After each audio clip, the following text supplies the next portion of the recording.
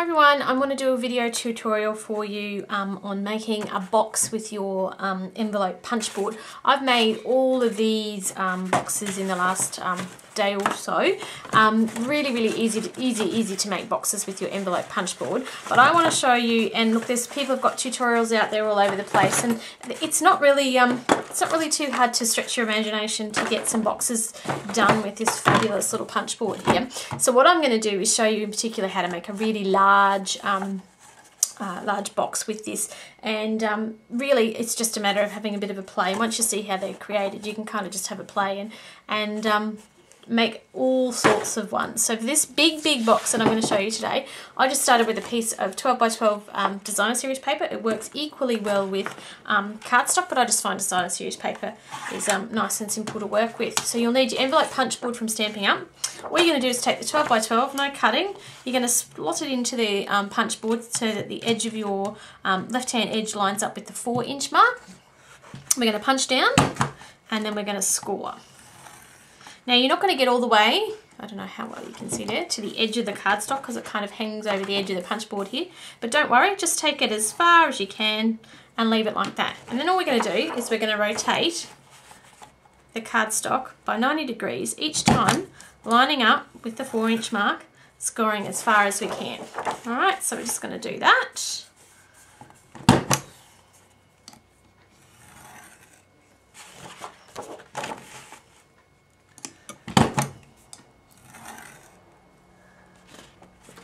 Okay, okay, so once we're back at the start, we've done four sides like that. What we have to do then is we have to turn the paper over to the other side. So flip it over, and we're going to do the same process again um, four times, lining up with the four inch mark, punching, scoring as far as we can, turning at 90 degrees, repeating the process.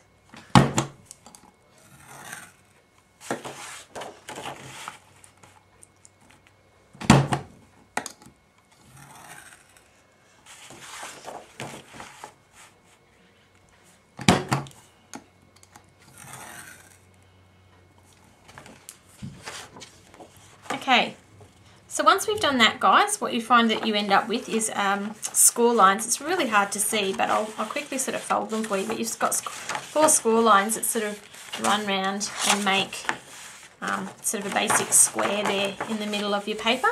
But what we don't what we don't have is the extra set of score lines that we need to complete the box.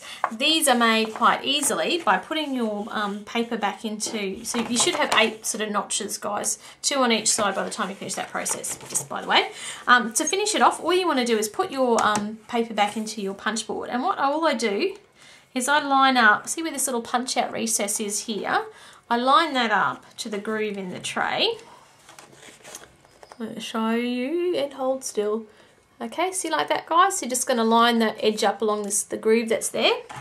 Hopefully you can see that. You'll see what I mean when I do it. And then all I'm going to do is I'm going to score right along there. So that gives me a score line that folds that top flap in. Okay, so you're going to do that for all four flaps. Really quick and simple.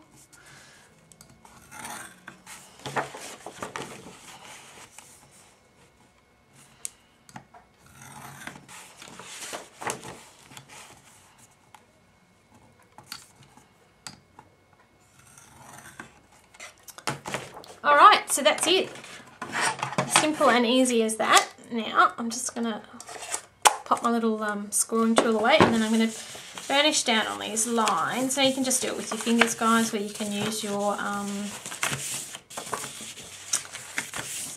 bone folder is the word I'm looking for if you really want to, but you've just got two sets of lines on each side. So once they're all scored like that, all we're going to do is we're going to fold up, um, it, fold this up into a box. Now the best way I find to do this is to grab a pair of paper snips and on um, the same sort of um, sides, you're going to snip down to the score line, so along that score line down to there. Same thing on this side. So you've got two flaps like that. You're going to turn it around 180 degrees and do the same thing on the opposite side.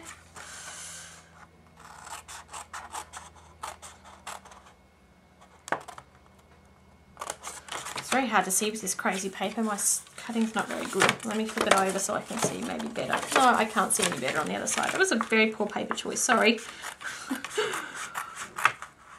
I'm cutting it down there. So what you're going to do is cut down and down like that and that.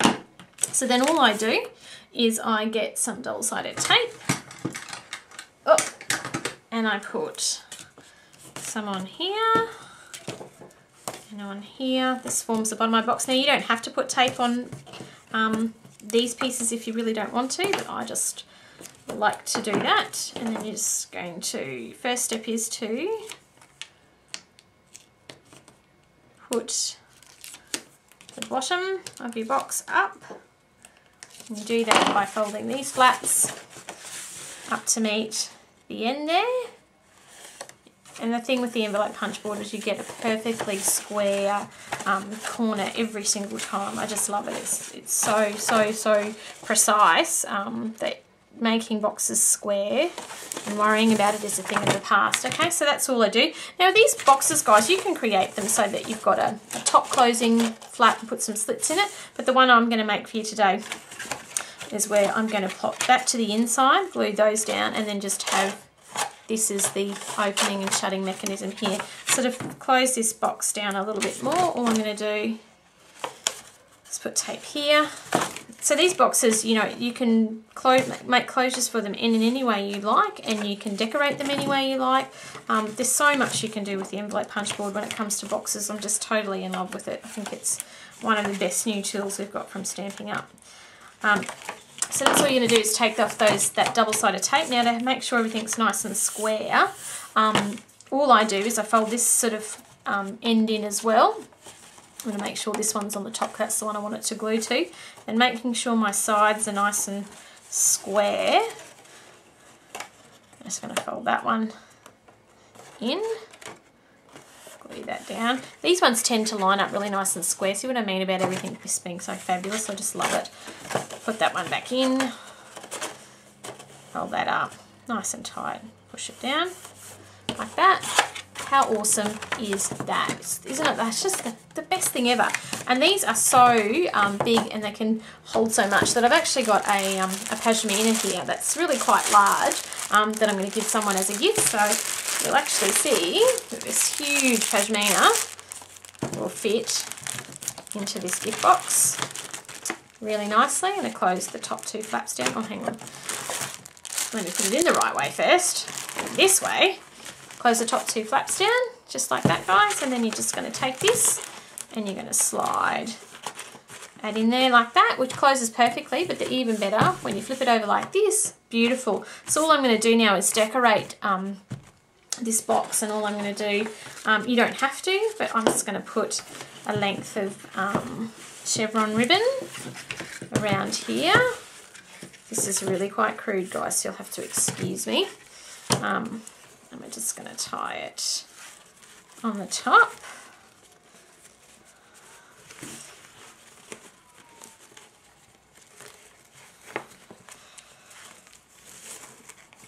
Okay, so then I'll cut that off in a minute. But the thing I did want to show you is the other thing that you can make with your envelope punch board is you can make a tag to go with your gift box.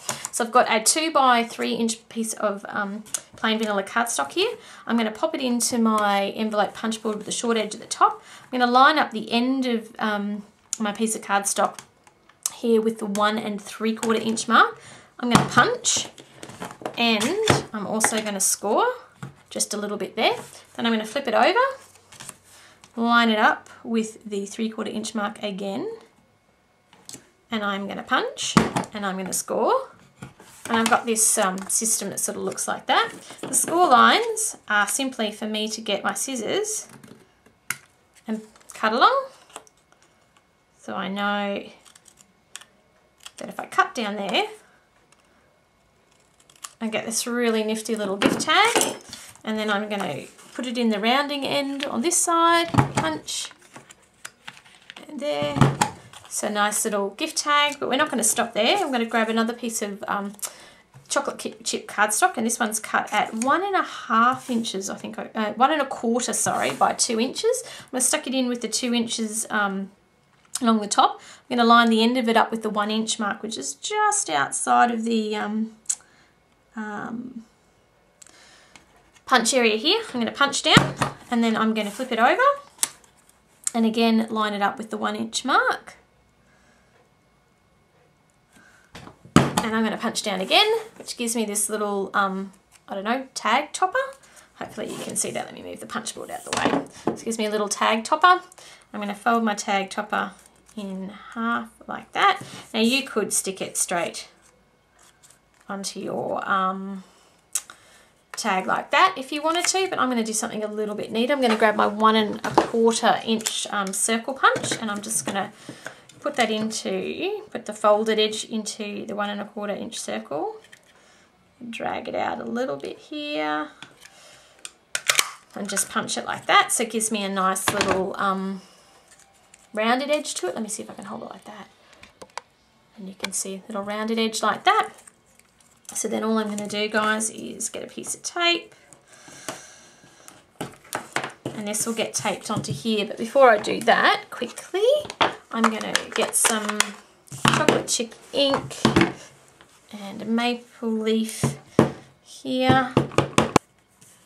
I'm going to stamp that image off and then stamp it onto my tag like that. Oh, so pretty. Then I'm going to stick my little um, chopper on here where I think it will look nice. Because the edges all sort of match up, you get that sort of matchy-matchy roundy bit there. Just flap it through to the back. If you pop a little uh, thanks on here, I've got some crushed curry that I'm going to put a little thanks. Oh, where will I put it? Yeah. They will look fine. So I'm just going to put that on there. I'm going to punch a hole in that, guys. Thread it onto my um, gift. And um, you'll see full pictures of this on my blog site. So stop by and have a look at um, that one. And I hope you enjoy that. And please remember your envelope punch board. It's not just for envelopes. It makes fantastic boxes.